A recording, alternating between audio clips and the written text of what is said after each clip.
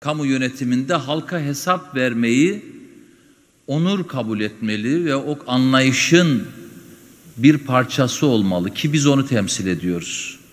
Çünkü biz halka hesap vermeyi unutanların bir süre sonra kirlendiklerini ve geçici sürelerle geldikleri koltuklara yapışmak için olmadık işlere giriştiklerini ne yazık ki iyi biliyoruz ve görüyoruz. Bugün adil, yeşil ve yaratıcı İstanbul yolunda 18 ayda yaptıklarımızı ve yapacaklarımızı sizlere 18 başlıkta özetlemeye çalışacağım. Ama önce size bir nevi özetin özetini vermek ve İstanbul'un 18 ayda nereden nereye geldiğini kısaca hatırlatmak istiyorum. 18 ay önce İstanbul ne yazık ki plansızlıktan ve parasızlıktan tüm metro inşaatlarının durduğu bir kentti. Bugün İstanbul tüm metro hatları için finansman sağlamış, duran metro inşaatlarını başlatmış, yapım sürecini hızlandırmış, yeni projelerin hazırlığına başlatmış bir kenttir.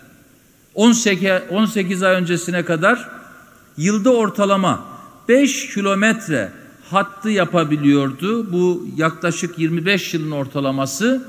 Biz bunu kısa bir süre içerisinde dört katına yani yılda 20 kilometreyi aşan metro inşaatına çıkarmak için gereken her şeyi sağladık. Şimdi sadece siyasi hesaplarla davranılmamasını İstanbul'un metroya kavuşma sürecinin engellenmemesini bekliyor ve istiyoruz. 18 ay önce İstanbul yeşil alanların her an imara açılma riskiyle karşı karşıya olduğu bir kentti. Devasa yeşil alanlarda ya hiç düzenleme yapılmıyor ya da sınırlı bir düzenleme yapılsa da bu alanlar kullanıma açılmıyor. Adeta vatandaştan gizleniyor ve kaçırılıyordu. İstanbul bugün Kemerburgaz Kent Ormanı, Atatürk Kent Ormanı ve bunun gibi milyonlarca metrekarelik yeşil alanın halkın kullanımına açıldığı, bizzat vatandaşa teslim edildiği bir kenttir.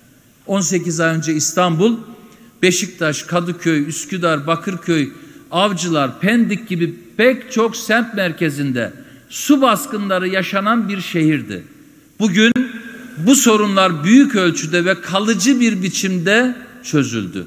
Geri kalanlarda göreceksiniz 2021'de tamamen çözülecek. 18 ay önce İstanbul, Taksim, Bakırköy, Üsküdar, Kadıköy gibi büyük meydanları kimliksiz, plansız, ne yazık ki çirkin ve işlevsiz bir kentti. Bir sabah kalktığınızda İstanbul'da meydanların yönetiminin keyfine göre düzenlendiğini görebiliyordunuz. Bugün İstanbul'un tüm büyük meydanları bilim insanlarının, ulusal ve uluslararası tasarımcıların, kentsel planlama uzmanlarının ve vatandaşın katılımıyla ortak akılla tasarlanıyor. 18 ay önce İstanbul otobüs ve metrolarda şehir hatları gemilerinde, isparklarda hatta İstanbul Büyükşehir Belediyesi üst yönetiminde kadın çalışanları ve kadın yöneticileri göremeyeceğiniz bir şehirdi. Çünkü kadınlara ne yazık ki bu hak verilmiyordu. Bugün İstanbul bütün bu alanlarda ve çok daha fazlasında kadınların liyakatla seçilip başarıyla çalıştığı bir kenttir. Başlangıcındayız. Yapacak bu anlamda çok daha işimiz ve yolumuz olduğunu da altını çizmek istiyorum. 18 ay önce İstanbul'un dar gelirli ve ihtiyaç sahibi aileleri çocuklarına süt alamamanın acısını yaşıyordu. Bugün 121.116 çocuğumuzun evine her hafta ücretsiz halk süt götürüyoruz. Üstelik o sütleri İstanbullu süt üreticilerinde üreticilerinden alıyor. Onlara da çok önemli bir destek sunuyoruz. Sunmaya da kararlılıkla devam edeceğiz. Tıpkı milyonlarca ücretsiz fide dağıttığımız çiftçilerimiz gibi.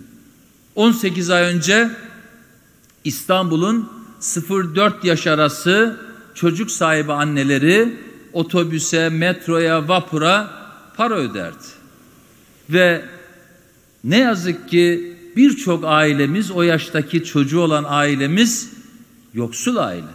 Bugün o annelerimiz toplu taşımadan çocuklarıyla beraber seyahat ederken ücretsiz yararlanıyorlar. 18 ay önce İstanbul'da Büyükşehir Belediyesi'nin tek bir kreşi dahi yoktu. Bugün 15 kreşimiz faaliyette, 10 tanesi bitmek üzere. Yakın zamanda halkımızla buluşacak. Önümüzdeki yıl toplam 60 kreşi hizmete sunmuş olacağız. 18 ay önce İstanbul ihtiyaç sahibi öğrencilere pek de fazla katkı sunmayan, ilgilenmeyen bir kent. Bugün on binlerce üniversite öğrencisine 3200 lira, yüz binlerce ilkokul öğrencisine de 300 lira eğitim desteği veriyoruz. Üniversiteli gençlerimiz için yurtlar açıyoruz. 18 ay önce İstanbul Büyükşehir Belediyesi bünyesinde tek bir istihdam ofisi bile bulunmayan bir kentti. İşsizle bir bağ kurmayan bir kentti. Bugün açtığımız 8 bölgesel istihdam ofisiyle vatandaşlarımıza iş buluyoruz bu zor günlerde.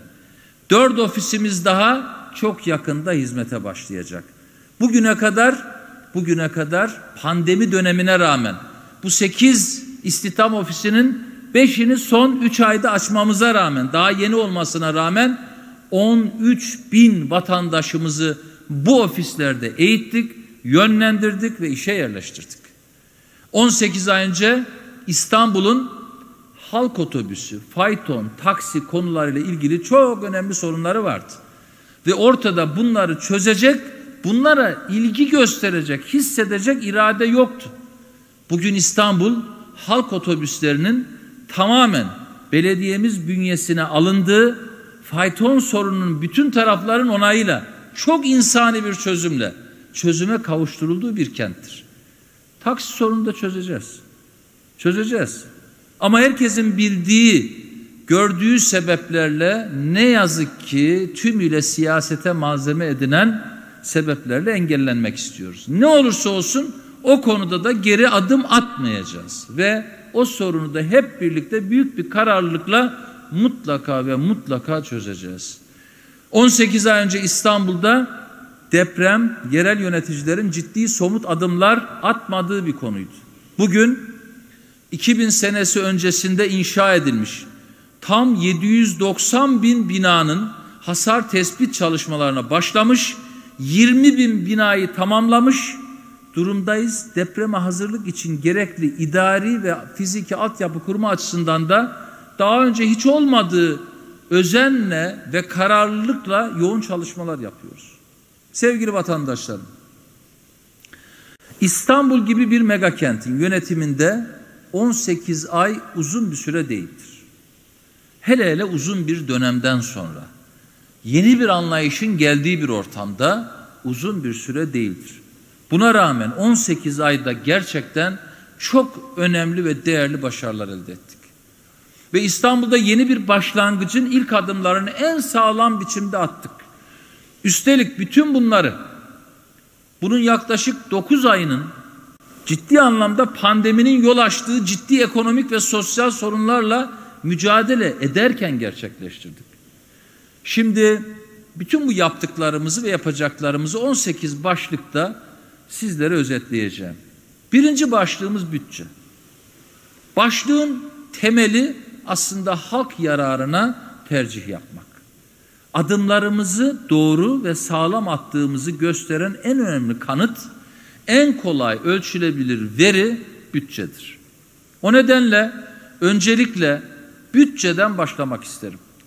Benim için bütçe demek halkın yararına, 16 milyonun yararına tercih yapmak demektir. Kişiler, gruplar değil, 16 milyon. 16 milyon vatandaş. Vatandaşın vergilerinden oluşan kamu bütçesini nasıl kullandığıyla o bütçeyi kullanırken neleri öncelik gördüğüyle değerlendirilmelidir. İş başına geldiğimizde ne yazık ki özellikle son 5-6 yılın sonucu tümüyle borca batmış, gelir gider dengesi tamamen alt üst edilmiş, israfa ve ne acı ve ne yazık ki eş dost kayırmacılığına sapmış bir bütçe yönetim anlayışı devraldık. Bizden, bizden önceki yönetimlerden kaynaklanan borçlar hariç 2020 yılı için ayağımızı yorganımıza göre uzatmayı öngören bir bütçe anlayışı hedeflemiştik. Çok önemli. Covid-19 fırtınası başladıktan sonra ise son derece ciddi bir tasarrufa yöneldik. Bunun da altını çizelim. İstanbul Büyükşehir Belediyesi ve iştiraklerinin bu amansız fırtınayı kazasız belasız atlatması için adeta bütün ekip arkadaşlarımla, bütün kurumlarla, iştiraklerle bir nevi sıkı yönetim ilan ettik. Covid-19'un etkisiyle 2020 yılında belediyemizin ve iştirak şirketlerimizin gelirleri ciddi şekilde geriledi.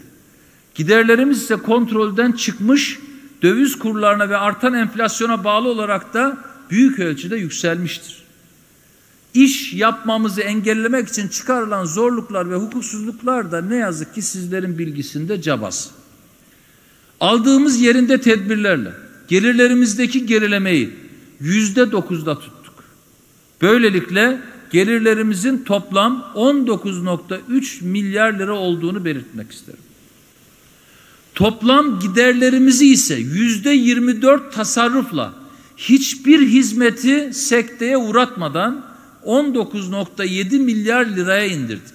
Gururla söylüyorum ki salgının o bütün sarsıcı etkisine rağmen denk bütçe yönetmeyi başardığımız 2020'yi bizden önceki yönetimlerden miras kalan bu da önemli 4.6 milyar liralık devasa bir kredi ödemesiyle kapatıyoruz.